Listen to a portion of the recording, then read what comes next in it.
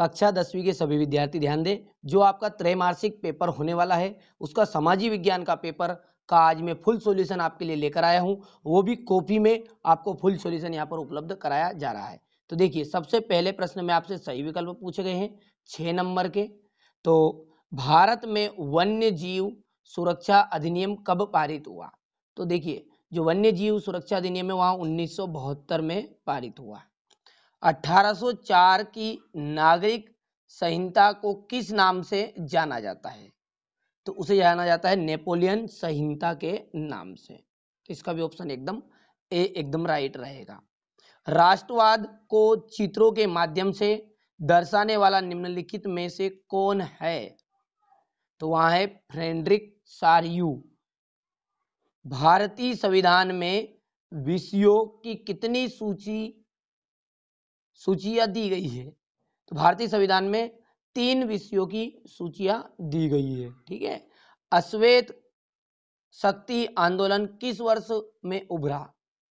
जो अश्वेत शक्ति आंदोलन था, वहाँ कौन से सत्र में या कौन से वर्ष में उभरा? तो वहाँ उभरा है उन्नीस में, ठीक है? इसके बाद है आपका कृषि क्षेत्र निम्नलिखित में से सम्मिलित है। देखिए कृषि जो होती है, वहाँ हमारी प्राथमिक क्रिया के अंतर्गत आएगी, यानी कि प्राथमिक क्षेत्र के अंतर्गत।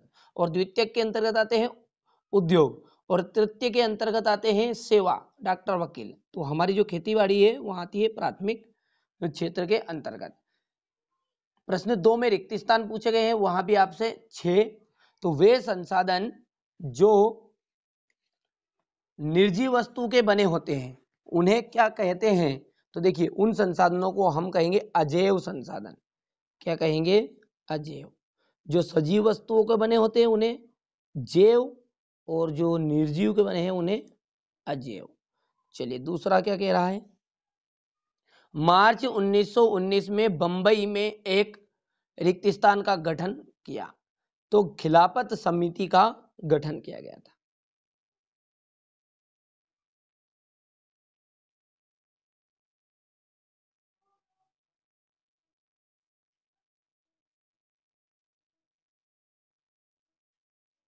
ठीक है, चलिए तीसरा क्या बोल रहा है? बेल्जियम रिक्तिस्तान का एक छोटा सा देश है। तो तीसरा आ जाएगा यूरोप का। तीसरे में आपका यूरोप। चलिए चौथा देखते हैं। अर्थव्यवस्था का रिक्तिस्तान क्षेत्रों में विभाजन किया गया है। तो अर्थव्यवस्था का तीन क्षेत्रों में विभाजन किया गया है, प्राथमिक, द्वितीयक और तृतीयक। तो यहाँ पर तीन इसमें रिक्त स्थान का सही आंसर रहेगा।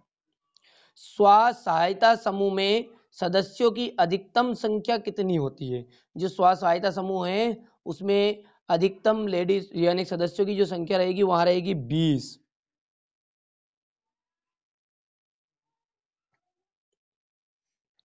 अगला है रोलेट अधिनियम लागू हुआ। तो जो रोलेट अधिनियम था वहाँ अप्रैल 1919 में लागू हुआ। तो ये छठा है।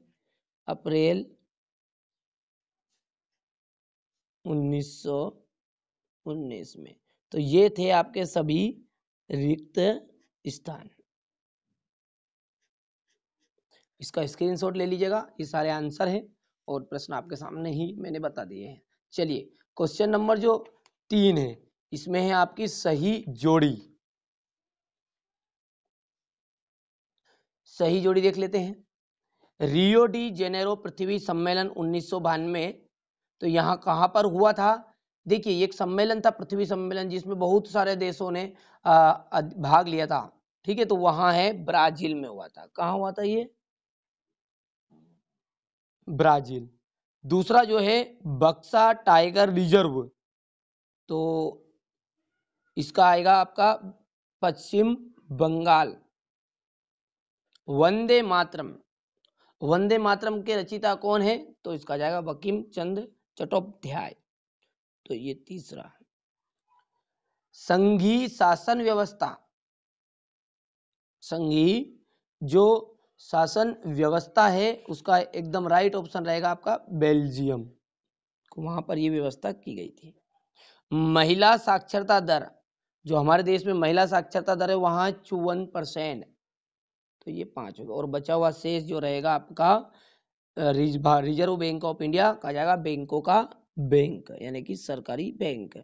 चलिए तो ये हो जाएगा आपका छठा। ठीक है तो ये थी आपकी सही जोड़ी। प्रश्न क्रमांक चार में आपसे सत्य सत्य पूछे गए हैं तो छह नंबर में, इन्हें भी देखते हैं। लेटेराइट मृदा अधिकतर गहरी तथा अम्ली होती है तो ये बात आपकी सत्य है। दूसरी आपकी यहाँ पर बात सत्य यह भी होगी, क्योंकि उन्नीस सौ बावन में नदी घाट परियोजना के कारण वन क्षेत्रों को साफ़ करना पड़ता है तो सही है। 1805 में फ्रांस में क्रांति हुई थी तो यह बात आपकी गलत है। भारतीय संघ की कई इकाइयों को बहुत ही कम अधिकार है। जो भारतीय संघ है, उसकी बहुत सारी इकाइयों को बहुत कम अधिकार है तो यह बात आपकी सत्य है। कृषि जो है, प्राथमिक क्षेत्र के अंतर्गत आती तो अभी हमने देखा था भी सही यहाँ पर एक बार और फिर से रिपीट आ गया है। और 2011 की जो जनगणना हुई, उसके अनुसार पुरुषों में साक्षरता दर छहत्तर प्रतिशत है तो ये बात गलत है, सेवेंटी थ्री परसेंट है। ठीक है तो ये बात हो गई आपकी असत्य। क्वेश्चन नंबर पाँच में आपसे एक वाक्य में या एक शब्द में उत्तर पूछे हैं। तो नवीन जलोडक जो है, उसका स्थायी नाम क्या है? जो नवीन जलोड मिट्टी बनी है, उसका जो नाम है तो यहाँ पर हम लिखेंगे पहले का खादर। तो उस मिट्टी का नाम क्या है? खादर। ठीक है, यहाँ पर लिख भी देता हूँ मैं, आप अंत में आप एक स्क्रीनशॉट ले लीजिएगा। एक वाक्य में उत्तर। ठीक है, इनके ये आंसर है। साइमन कमीशन भारत कब पहुँचा? तो 1928 में पहुँचा।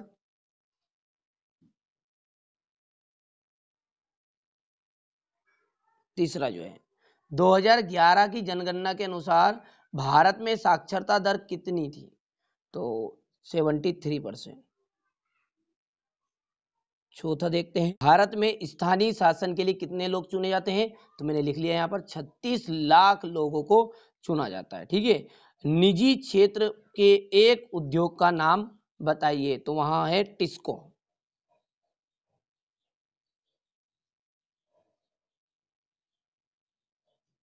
और अंतिम जो है आपका, भारत में केंद्रीय सरकार की तरफ़ से करेंसी नोट कौन जारी करता है? तो भारतीय रिज़र्व बैंक। ये अंतिम आपका जाएगा, भारतीय